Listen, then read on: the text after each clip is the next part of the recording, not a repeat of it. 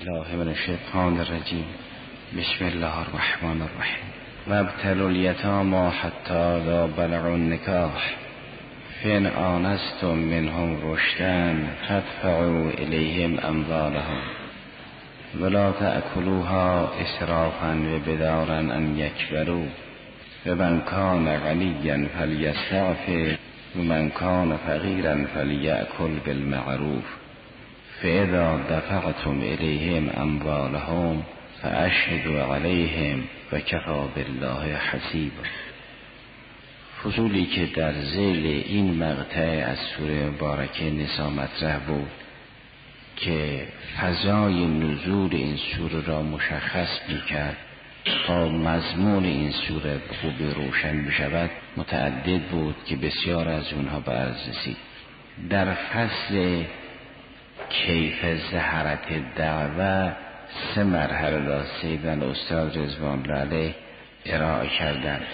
اول اینکه تدریج در اصل دعوت بود دوم که تدریج در مدعو و سوم تدریج در مدعوون الی امر سوم از این فصل ناظر به تدریج در مدعوون الی هست که اسلام همه احکام را یک جا نازل نکرده است.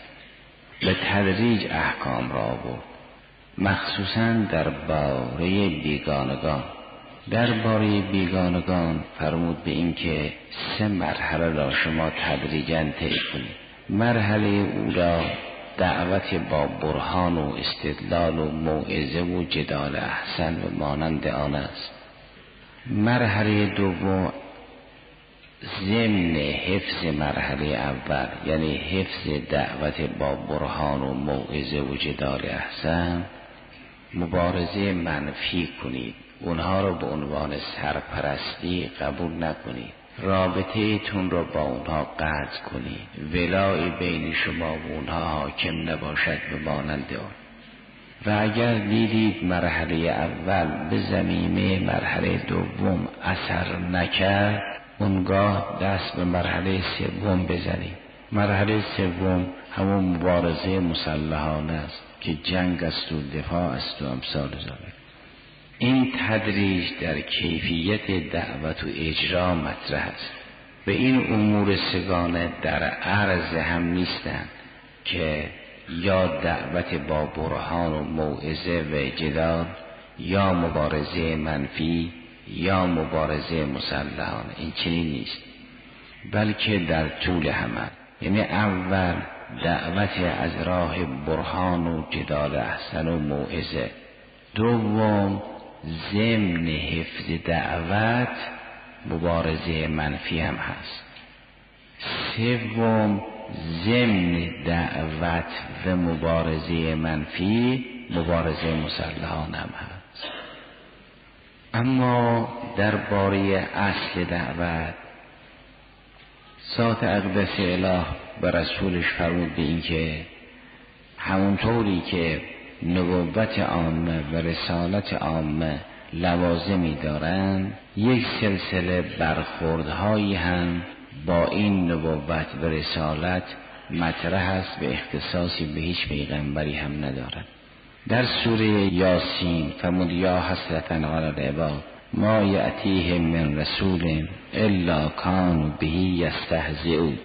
آیه سی سوره یاسین همین بود که قرائت شد که عنوان رسول مطرح است. در آیه هفت سوره زخرف این است ما یعتیه من نبی الا کانو به یستهزئون. هر پیامبری که آمد عده او را به استهزا گرفت. استهزای پیامبر گاهی به شخص اوست گاهی به مکتب او. اگر به شخص او باشد به مکتب او هم هست. اگر به مکتب او باشد به شخص او هم هست. بعضی از این استهزاها را به عنوان نمونه قرآن کریم ذکر کرد. مثلا در سوره مبارکه اعراف آیه شست جریان استهزای قوم نوح نسبت به خود نوح علیه السلام را این چنین ذکر می‌کنند که قال الملع من قومه انا لنراک فی زلال مبین.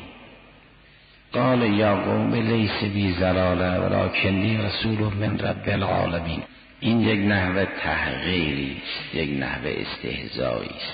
گاهی به عنوان اینکه تو در زلالتی او را متهم می‌کردن و مکتبش را هم به سخریه می‌گرفت. در همون سوره اعراف بعد از جریان نوح جریان هود علیه السلام را ذکر می کند که مبعوث به قوم عاد شد. اونگاه آیه 66 و 67 همون سوره اعراف این است که قال الملأ الذین کفروا من قومه یعنی من قوم هود انا لنراک فی سفاهة. معاذ الله تو در سفاهتی. انا لنراک فی سفاهة و انا لنظنک من الکاذبین. اونگاه پاسخی که هود سلام الله علیه به قوم عاد می‌دهد این است که قال یا قوم لیس بی سفاهة من سفیه نیستم. ولکنی رسول من رب العالمین. در عین حال که سازش نیست نرمش هست. هم به نوح گفتن تو در زلالتی فرمود من زلالت ندارم. هم به هود سلام و داره گفتن تو سفیهی فرمود من صفاحت ندارم.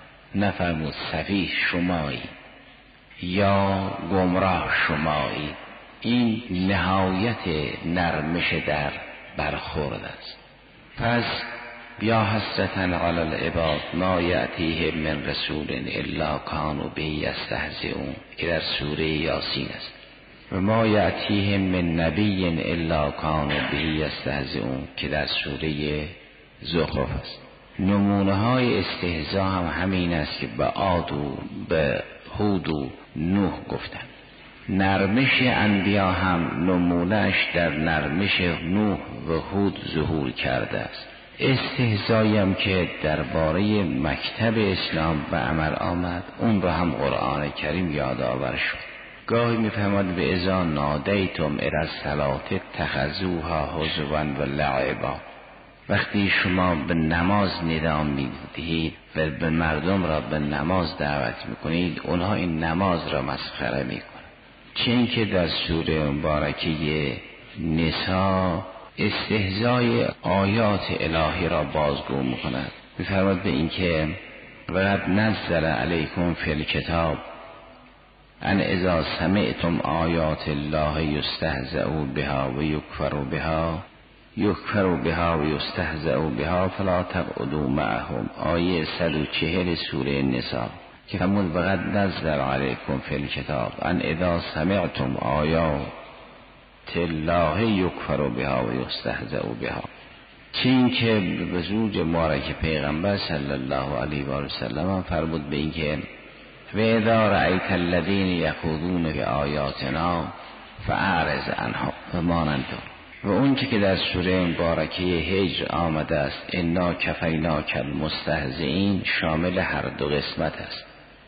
در آیه 95 سوره هجر است که انا کفینا کل مستهزئین حالا اونا که استهزا می کردن یا مکتب را یا رسول صلی الله علیه و سلم. بنابراین برخورد تاقیان این چنین بود که یا تزلیل می‌کردن نسبت به زلالت می‌دادن یا تصفیح می‌کردن نسبت به صفاحت می‌دادن و خلاصه مسخره می‌کردن یا مکتب را یا پیغمبر. در این فضا پیغمبران عموما وجود مبارک پیغمبر اسلام علیه السلام و علیه السلام خصوصا معمور شدن که تدریجا معارف الهی را تبیین کنند و اجرا کنند. راه اجرای تدریجی هم از در علم مشخص و از در مبارزه منفی مشخص و از در مبارزه مسلحانه مشخص. خط اصلی رسالت نبوت همان یعلمهم الکتاب و الحکمه و یزکیهم هست. این خط اصلی است. اگر مسئله مبارزی منفی هست و اگر مسئله مبارزی مسلحان است اینا جزء عناوینی است که به ضروره و به اضطرار تحمیل شده است. وگرنه اون هدف اصلی و برنامه اصلی رسالت همون یعلمهم کتاب و الحکمه و یزکیهم هست. حالا چرا مبارزه منفی شروع می شود و چرا مبارزه مسلحانه؟ اینها را باید تبیین کرد که روح این جنگ ها در حقیقت دفاع است نه جنگ ابتدایی. این یک نکته. و روح دفاع هم به دفع برمیگردد این دو نکته که کل جنگ ها روحش دفاع است نه حمله ابتدایی این یک نکته و روح دفاع هم به دفع برمیگردد این دو نکته کاملا از هم جدا به پاست خدا باید بیان بشه. در تدریج در دعوت سوره مبارکه نحل آیه ای دارد که در پایان این سوره قرار گرفته است. یعنی تقریبا آیه 125 این سوره است که ادعو الى سبیل ربک بالحکمت و الموعظه الحسنه و جادلهم بالتي هی احسن. مطلبی را انبیا نیاوردن که کسی بگوید من این مطلب را نمی‌فهمم. و در قرآن هیچ مطلبی نیست که کسی بگوید من این مطلب را نمی‌فهمم. البته در قرآن آیاتی هست که درکش مقدور همه نیست. اما محتوای همون آیات به صورت قصه مثل و مانند آن رقیق شده و به سایر افهام نزدیک شده تا مردم بفهمند. پس این دو مطلب کاملا از هم جداست. یکی اینکه در قرآن آیاتی هست که دسترسی به اونها مقدور حملی است. نکته دوم آن است که مضمون همون آیات رقیق شده به صورت مثل به صورت قصه به عنوان جدال احسن به عنوان موعظه برای توده مردم بیان شده است. لذا هیچ کس نمی‌تواند بگوید مطلبی در قرآن است که من نمی‌فهمم. چون همون مطلب به صورتهای خیلی نازل و رقیق در دسترس فهم مردم قرار گرفت. در آیه 125 سوره نحل فرمود مردم را با حکمت و برهان یا با موعظه و اندرز یا با جدال احسن هدایت بکن. اگر گروه اهل استدلال و برهانند با حکمت نشد با موعظه نشد با جدال احسن اینها را هدایت بکن. و این هدایت همیشه هست. اگر چنونچه اثر نکرد نوبت به مبارزه منفی می‌رسد. در هنگام دعوت کردن هم ادب دعوت را رعایت بکنید. یعنی بسیاری از دشمنانن که با حسن برخورد دوست می شوند اگر شما تجربه کردید دیدید اونها از راه رعایت ادب معدب نشدن اونگاه نوبت به اشد و الکفار می‌رسد. اما اوائل این چین نباشید که بگویید فرون ملت کافرن ما هم اشدا و الکفاریم. این چنین نباشه باید گفت فلون شهر فلون گروه کافرند و ناآگاه ما موظفیم اونها را بالحکمت و الموعظت الحسنت و الجدال الاحسن دعوت بکنیم.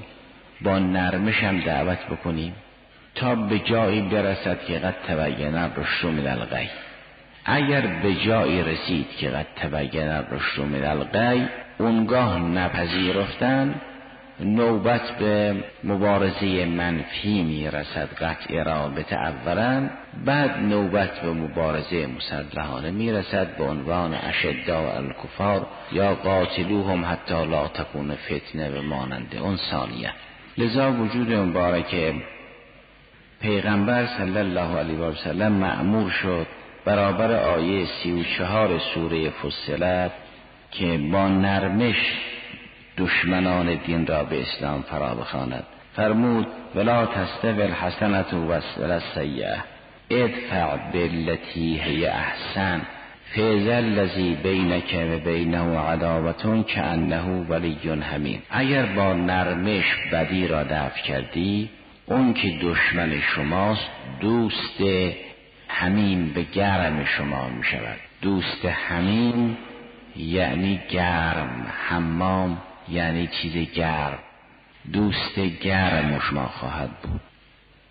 و همین معنا را در سوره مبارکه ممتحنه به صورت باز روشن کرده است که فرمود دعوت هست اگر دعوت اثر نکرد مبارزه منفی است. به این مبارزه منفی را هم باز با حفظ دعوت و ادب حفظ بکنید. نگویید ما تا حال دعوت کردیم از این به بعد نوبت ترک رابطه است. چون دعوت به دین تا آخرین مرحله است حتی در میدان جنگ. لذا کسانی که به جبهه می رفتند و جنگ شروع می شد در همون میدان جنگ هم دعوت به اسلام بود. و این اختصاصی هم به داخله حجاز و مانند اون نداشت. دعوت هایی هم که به وسیله نامه های رسول اکرم صلی الله علیه و سلم به سران کشورهای معروف اون روز ارجاع می شد اونم همینطور بود. اول دعوت بود به حکمت و الموعظت الحسنه و همچنین به جدال احسر بعد ترک رابطه بود بعدم جریان جنگ تبوک امثال زبوک در زمان خود حضرت پیش آمد. بعدش هم در کنارش تهدید بود اما در میدان جنگ هم باز مسئله دعوت و موعظت و جدال احسن بود و این اختصاصی به حالت اولا نداره چون که شفاهن یا کتبن در این جهت مشترکند و یکسانند نامه هم که برای امپراتوری ها می نوشتن این چنین بود؟ این کلمه امپراتور به کسر هر دو یعنی امپراتور رو ضبط کردن. نه امپراتور و نه امپراتور هر دو رو به کسر ضبط کردن. امپراتور. به سرداران روم به گفتن امپراتور. و چون کم کم مسئولین روم اون بخش وسیعی را زیر پوشش داشتن این کلمه قیصر با امپراتوری کنار هم ذکر می‌شد. گفتن امپراتوری روم.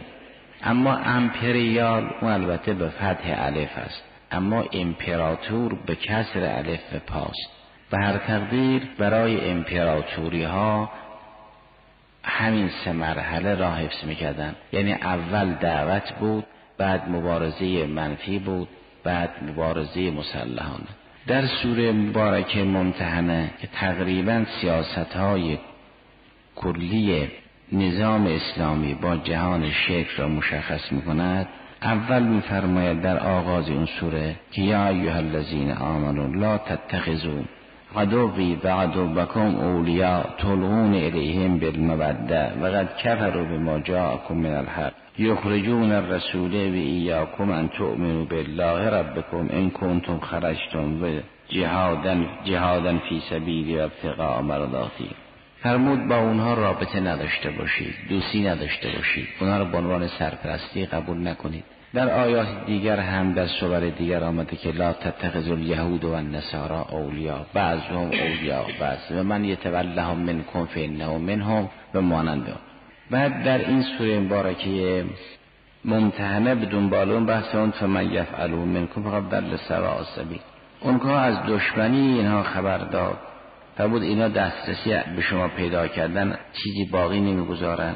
به مبادا ارهام و اولاد راهزن شما باشد. به شما به ابراهیم خلیل سلام الله علیه تأسی کنید. قد کانت لکم اصفتون حسنتون فی ابراهیم و الذین معه. نگویید کار ابراهیم برای ما سخت است. کار مؤمنین به ابراهیم برای شما سخت نیست چون این کار را هم ابراهیم علیه السلام کرد هم پیروان او. هر کاری که ابراهیم خلیل به پیروان او انجام دادن شما انجام بدید. قد کانت لکم اسوتون حسنتون فی ابراهیم و الذین معه از لقومه انا براء منکم و ما تعبدون من دون الله. این همون مبارزه منفی و قطع رابطه و مانند آن است. فرمود ابراهیم و قوم ابراهیم علیه السلام از پیروان ابراهیم علیه السلام از بتپرستا بریدن شما هم قطع رابطه کنید با مشرکین. بعد در خلال همین سوره فرمود که اسوه حسنه داشته باشید. اونگاه در آیه هر فرمود اصل الله ان یجعل بینکم و بین الذین عادیتم منهم مبده این چی نباشید به عنوان خشن معروف بشوید؟ چون جای خشونت هم هست در مسئله اشد و الکفار.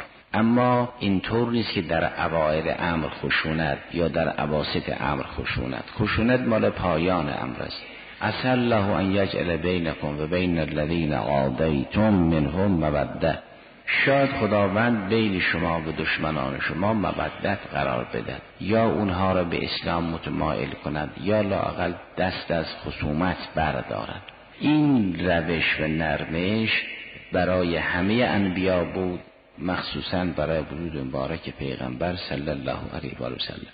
لذا هرگز در اوائل امر یا در عواسط امر اون اشد و کفار را پیاده نمی کرد انزجار قلبی مطلب دیگری است. اما روابط تجاری داشتن روابط سیاسی داشتن روابط فرهنگی داشتن را اوائل قصد نمی کردن در عواسط رد می کردن و اون جنگ مسلحانه را در مرحله سوم انجام می‌دادند. این کار به طور رسمی انجام می‌شد.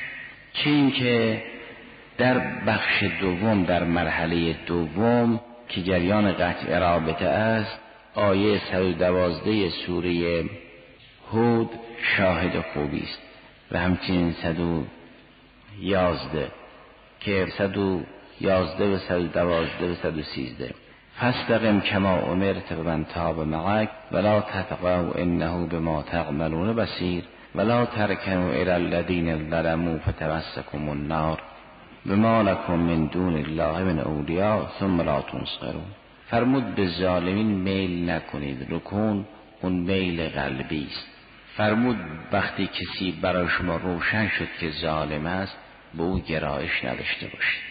تحصله که تدریج در این سه بخش بود و استهزایی که به مکتب یا به خود پیغمبر می‌کردن اختصاص پیغمبر اسلام نداشت جوابی هم که اونها می‌دادن در کمال رعفت و ملائمت بود.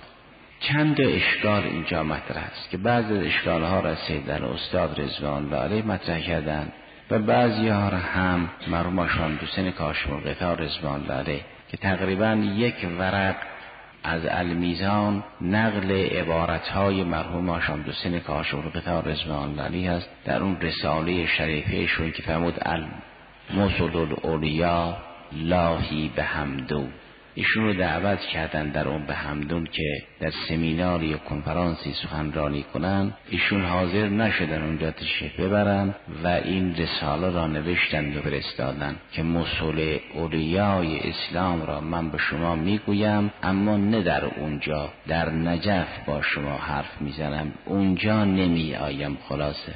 در مطالب فراوانی در اون کتاب است که یک ورق اون مطالب را سیدن استاد میفرماد که به یعجبونی این خوشم میآید که این مطلب را از ایشون نقل بکنم.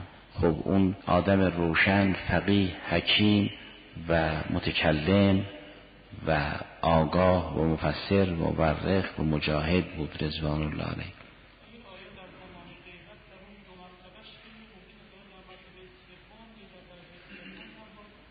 بله دیگر اگر روح روح جهاد برگردد به دفاع و معلوم بشود که دعوت تقریبا روحش حجمه نیست تهاجم نیست روحش دفاع است و دفاع هم به دفع برمیگردد. چنگی در فرمایشات ایشون ان روشن شود این هست. لذا مرحوم صاحب جواهر رضوان دعوت ابتدایی را در زمان غیبت اجازه داده است. گرچه سیدن استاد امام رضوان الله در کتاب شریف ایشون در ولایت فقیه اول تأمل داشتن که دعوت ابتدایی در زمان غیبت کبرا رواست. ولی صاحب جواهر خوب اون فقیه نامبر فرمود عیب ندارد. اگر مثلا اجماع برخلافش ادعا نشود چون اون اجماع هم محتمل مدرک است اعتبار به نیست. ولی بعد شنیده شد که نظر شریف سیدن استاد رضوان داده وفاقا جواهر برگشت که در زمان غیبت کبرا هم اون دعوت های ابتدایی هست. تا دعوت ابتدایی اگر تفسیر بشود که معنای تهاجم نیست و معنای اجبار و دعوت به اسلام نیست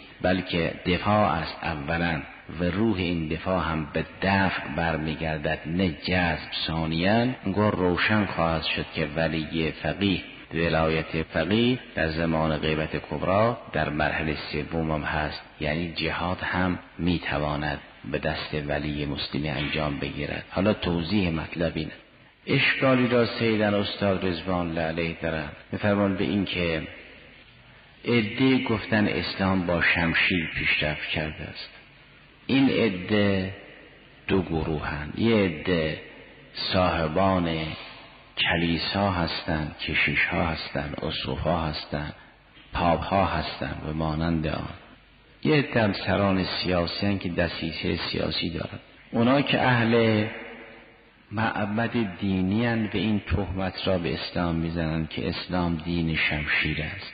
باید بدانند که اسلام در سه مرحله کار کرده است. و هرگز دینش دین شمشیر نبود و اون مرحله نهایی مرحله ضروری است. اما خودشون که دائیه مسیحیت داشتن و می‌گوین عیسی علیه السلام مظهر محبت و رعفت است اینها در همون قرون وسطا محکمه تفتیش عقاید داشتند اگر کسی مرتد شده بود به گمان اینها آتشی میافروختند و می‌گفتند همونطوری که خدا جهنمی دارد ما هم باید مانند قهر خدا قهر سوزانی داشته باشیم. عده را به جهنم میسوزوندن به آتش میسوزوندن و منظورشون هم از این ارتداد اعم بود از ارتداد دینی مصطلح یا ارتداد از اصول علمی پذیرفته شده پیش کلیسا. لذا اگر کسی قائل بود به حرکت زمین او را تکفیر می‌کردن بعد اعدام بیا میسوزوندن این محکمه تفتیش عقاید بود. و اگر کسی برخلاف نظر بطلمیوس رأی می‌داد او را میسوزوندند و مانند. خب همینا که تفتیش عقاید داشتن برای یک کسی مثلا یک نظر علمی خلاف و نظر پذیرفته شده پیش کلیسا را ارائه کرد را به این روز سیاه نشوندن پس این جواب نقضی اونها. اما سران سیاسی که دسیسه سیاسی داشتند و دارند جواب نقضی اونها اینه که شما در جنگ جهانی اول ویرانیتون فراموش نشد در جنگ جهانی دوم هم تخریبتون هنوز مونده است. هشدار بیرحمانه که شما کردید شهرها مناطق مسکونی خردسال بزرگسال مناطق غیر نظامی را ویران کردید. این هنوز سند زنده فاجعه تاریخ شماست. و اگر به خودتون اجازه دادید که برای مسائل سیاسی دست به این سلاح گرم ببرید اجازه بدید که رهبران الهی برای دفع مفسده شرک و بتپرستی که بدترین مفسده است و ظلم عظیم است دست به این کار ببرند این اصاره سخنان سیدن استاد اسمان داریم. بعد میفرمان به یعجبونی خوشم میآید که من سخنان مرحوم سین کاشور را اینجا نقل بکنم.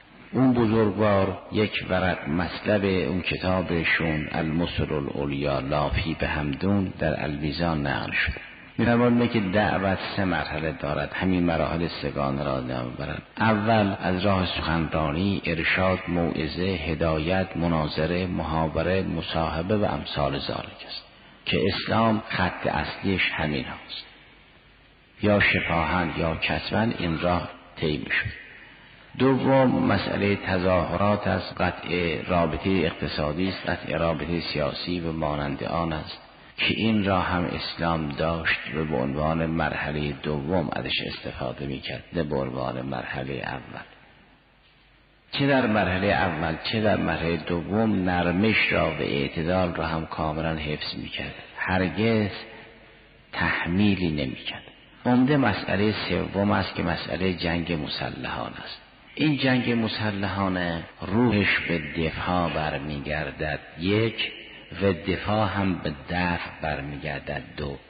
اما اینکه این روح روحش به دفاع برمیگردد این را سیدن استاد در بحث جهاد که در زیل آیات سوره بقره بود اونجا مفصل بحث کردن. فرمودن به اینکه اصل جنگ روش به دفاع برمیگردد.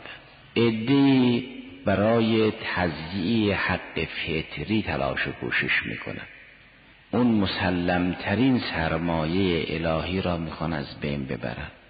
انبیا برای اینکه تاقیان این حق فطری و اولیه انسان را از بین نبرند با اونها به نبرد برخواستند اونها تهاجم کردند که یریدون لیطفئوا نور الله را. انبیا آمدن به عنوان دفاعی از حق فطری انسانها با مبارزه برخواست این نکته قبلا هم گفته شد که روح جنگ ها ولو ابتدایی هم باشد به دفاع برمیگرد.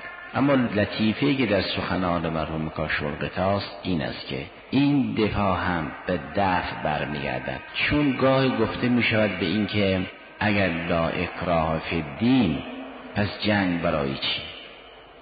اگر دین اجبار پذیر نیست چرا اشد و الکفار؟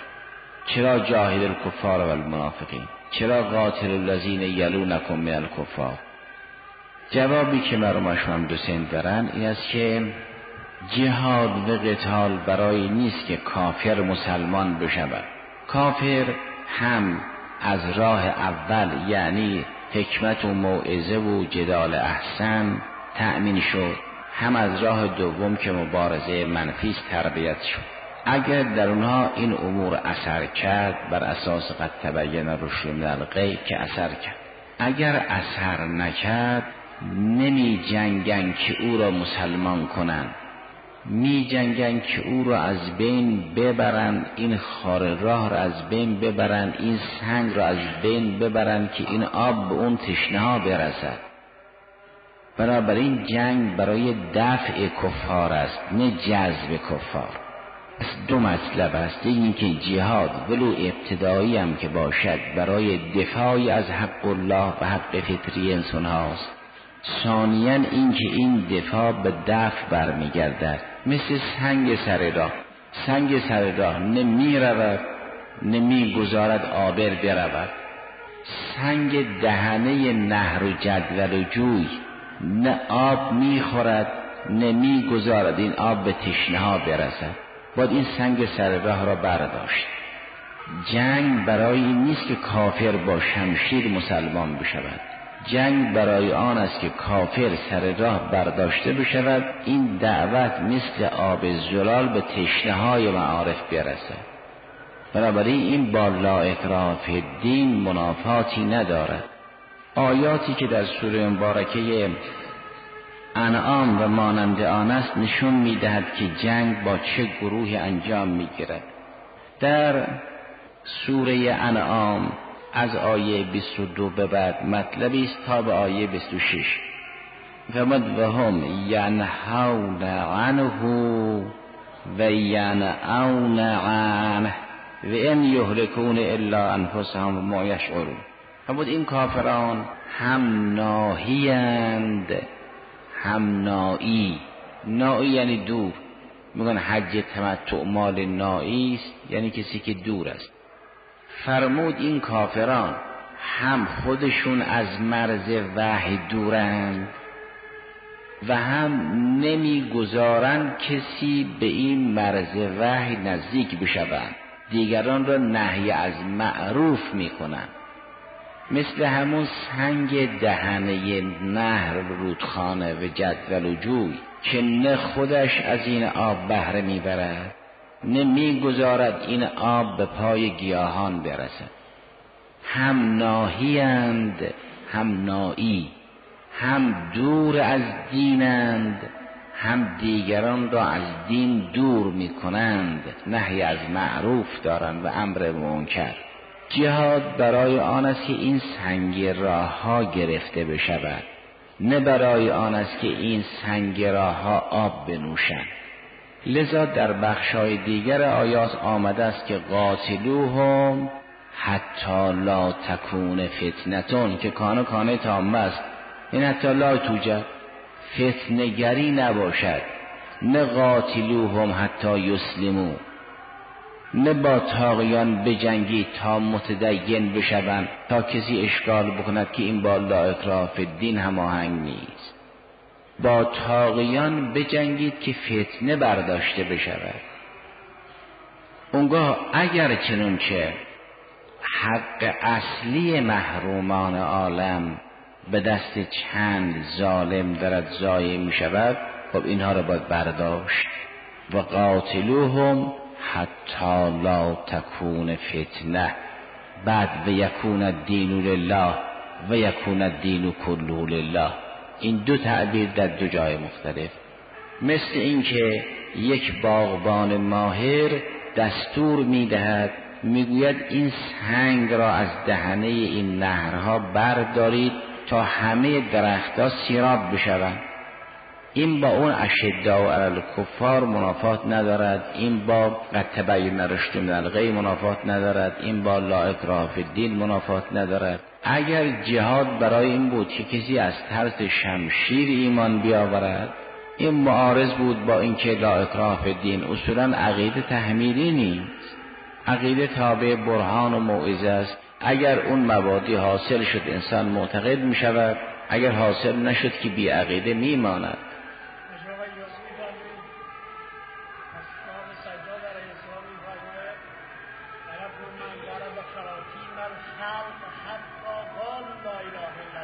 بله. این برای آن است که این مجموع رو حساب کرده. یه دی رو با حکمت و موعظه و جدال یه دیر هم با مبارزه منفی یه دیر هم با برداشتن تاقیان ناهی نایی.